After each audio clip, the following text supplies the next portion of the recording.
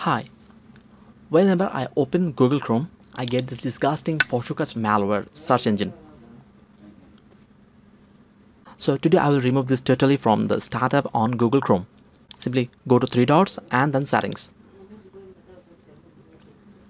At the left side, go to on startup and you can see this bothersome Poshukach is there.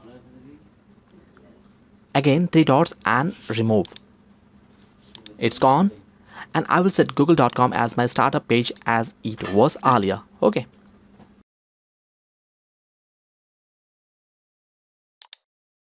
Done. And by this way you can remove unwanted search engines from startup pages on Google